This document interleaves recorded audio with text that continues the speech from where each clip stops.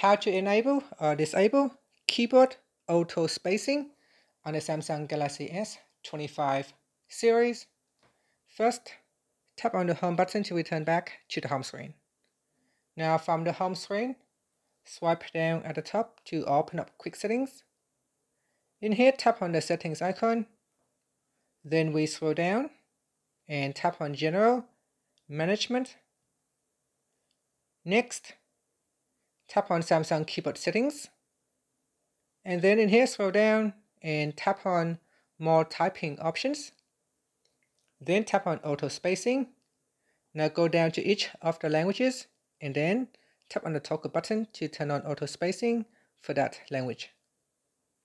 And that's it. After that, tap on the back key or tap on the home button to return back to the home screen. Thank you for watching this video. Please like and subscribe to my channel for more videos.